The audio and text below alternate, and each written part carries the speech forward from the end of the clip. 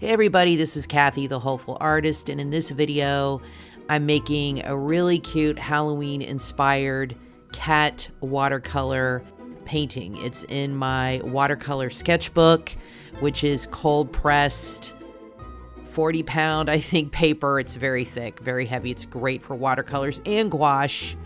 And I wanted to do something with cats. I've been taking some classes online by Terry Runyan. I'll put the links in the description. I have her book. She's amazing and she's really inspiring me and many others to do some fun cat art. And I love cats. I have a cat named Luna. She's awesome. So they're always fun to paint. Um, I think I love doing animals. They're a lot of fun and you can you can do so many different kinds of things. So I wanted to do a cat that's kind of dressed up like um, a ghost was kind of inspired by Charlie Brown a little bit here, one of my favorite holiday specials. And I wanted to show the cat dressed up, getting ready to go trick or treating for the night. And I'm using uh, orange here, which is one of my favorite colors to paint with. These are Winsor and Newton watercolor um, uh, watercolors that come in a tube. And these are the watercolors Terry uses that she recommended. These are professional grade and I've wanted to get them for a while, but I was a little hesitant because they're not cheap. They're like $15 a tube. But I just went and bit the bullet one day and bought about 10 of them and went a little crazy. But let me tell you, they're the most amazing watercolors I've ever used. I can see why she likes them. And a little goes a long way. These tubes will last you a long, long time, even if you use them every day you could probably get six months out of them. Obviously, some colors, if you use them more, it's going to be a little less, but you just put a little dot and you can really stretch it out. I like these watercolors because if you take them right out of the tube with just a little, little bit of water, they're very opaque, and I like opaque watercolors. That's my preference. Or you can thin them out as much as you need to. I also, uh, later on, I'm going to use some white gouache mixed with them, and that works perfectly well too. You can use white gouache with them to make them even more opaque, lighten them up a little bit. I've never used watercolors out of a tube like this. I usually use them like in a tray.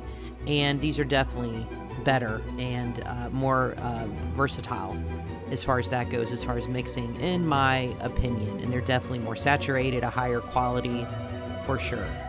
I wanted to make the cat orange, like an orange tabby, to kind of juxtapose the orange bag. I like to have balance in my pieces when it comes to composition and color.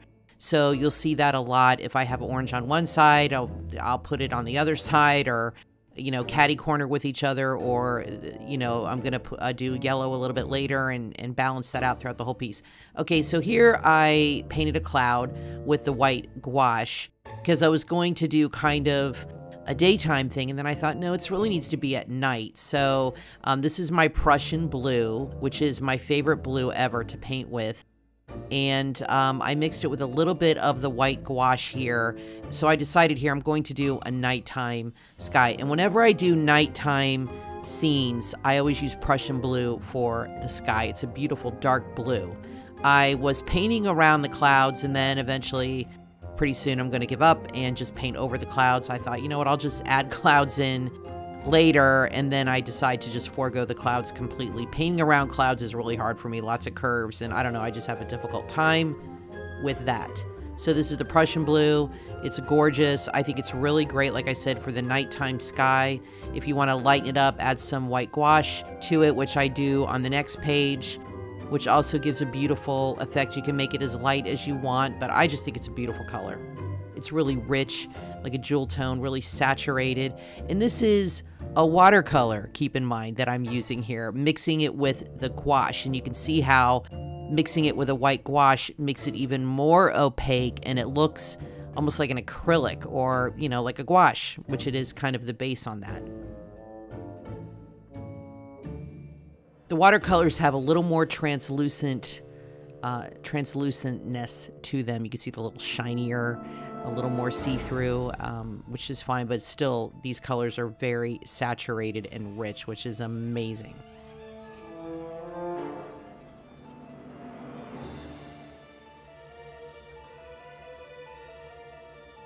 And I'm just going in and touching up a few things here and I'm going to finish that up.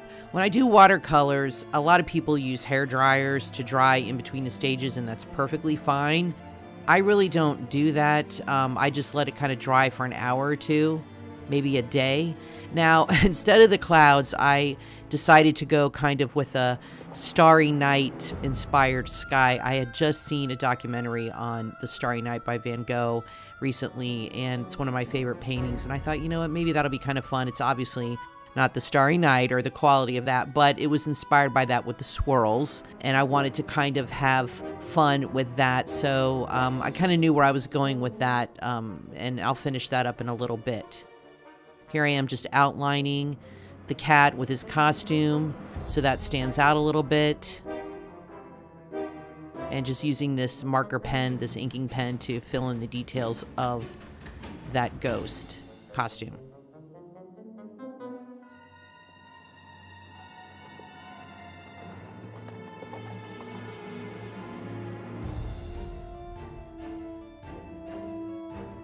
I probably, looking at it now, would have should have painted his arms coming out of the costume somehow. And now that I'm looking at it, I kind of wish I did that, but I just didn't think of that. But that's okay. Uh, maybe next time I do it, if I do it again. So I took a Posca pen here, went over these swirls with the white paint pen, which went beautifully on this watercolor. Make sure it's completely, completely dry though, before you add any kind of paint pens to it. But um, it went over it really, really nicely. And I grabbed another paint pen to kind of outline uh, just some of the fine details here. So that stood out a little bit. Both worked really well. There were a couple areas I had to go over it more than once, but both paint pens worked really well on these Winsor Newton watercolors. I was really surprised by that. Sometimes it'll seep into the paper because it's a very porous paper, the paint pen, and it just disappears. That did not happen with this. They really just sat on the surface and I think looked great. I wanted to do the moon in yellow because I wanted to bring a third color into this piece and just have it pop a little bit so I decided, okay, I'll go with the yellow. Again, I'm still inspired by the Starry Night here because he has a lot of blue and yellow in that piece.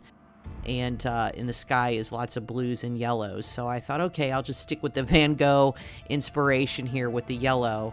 And I'm going to bring this um, throughout the stars here uh, and add that little centerpiece right there to kind of bring that yellow throughout the composition which is something I'd like to do, bring a color throughout the whole piece. And then I added some yellow shine to the costume as if it's reflecting off of that, that moon is reflecting off of that sheet. You have to remember when you paint a crescent moon, there's nothing in that area where that empty space is in that moon because the moon is still there. Some people paint stars inside that area. No, there's still a moon there. The moon doesn't get cut in half. It's just the darks that's just darkened. That's also. Please keep that in mind when you do your crescent moons. I've made that mistake many, many times. And then I realized, wait, there's a moon there. Why would there be stars on top of the moon? That doesn't make sense.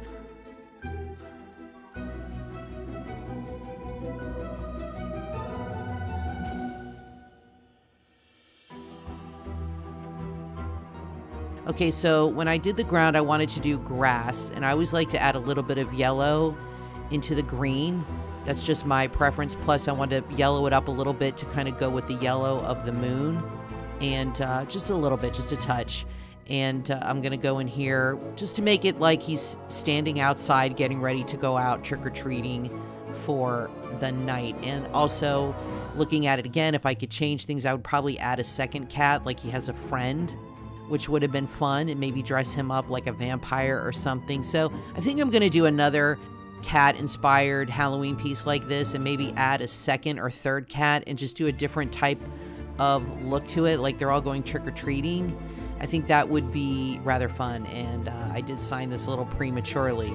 I do that all the time, and then I'll look at it and decide, oh wait, let me let me add this. So what I'm going to do here is just add a few uh, shadows, add some Prussian blue to the green, just to darken it up a little bit. Anyway, guys, thanks so much for watching. This is my cute little cat inspired, Terry Runyan inspired Halloween painting with Winsor Newton watercolors. Thanks so much for watching. Please like and subscribe, and I'll see you guys in the next video. Happy Halloween.